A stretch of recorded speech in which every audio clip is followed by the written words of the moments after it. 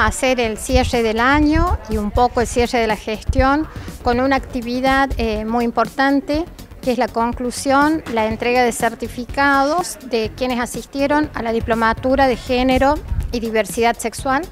que se dictó entre agosto y noviembre del corriente año. Una diplomatura pedida por la comunidad, eh, elaborada con docentes universitarios, apoyada por la Fundación Vamos a Andar de la diputada Beba Soria, que nos permite hoy concluir con la entrega de certificado. Y esto nos llena de felicidad porque eh, cerramos una etapa, concluimos un ciclo de realizaciones, concretando cosas y bueno, eso la, verdad que es uno, lo que uno espera. También, por otro lado, coincidió en los tiempos que se ha concretado la, eh,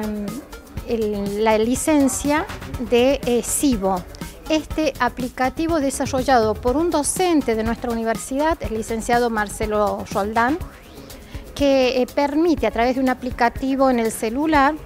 a todas las personas con disminución o falta de, visión. Lo bueno de hoy es que la universidad eh, ha permitido eh, que se, el uso a todos nuestros estudiantes de este aplicativo por un año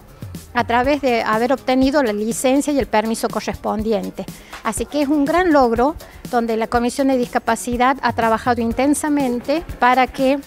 nuestros estudiantes durante el próximo año accedan directamente a, esta, a este servicio. La verdad que nos ha tocado eh, un momento de pandemia, un momento que había que convertir y transformar todo pero hemos podido eh, dar cuenta, estamos dando cuenta de un intenso y de un gran trabajo con las organizaciones y asociaciones que en ocasión del aniversario de la universidad hicimos una reunión muy linda en la sala académica donde más de 70 eh, asociaciones se llegaron. Esto fue un poco también el trabajo del Consejo Social Comunitario, que es un trabajo eh, que está a cargo de la Secretaría de Extensión. Así que bueno, este, el trabajo es intenso, esto, todo esto nos, de algún modo, nos permite visibilizar el trabajo de la universidad en el territorio a través de la Secretaría de Extensión y a través de las seis comisiones y a través de los departamentos académicos, sedes regionales, delegaciones de nuestros, eh, y de los cuatro estamentos.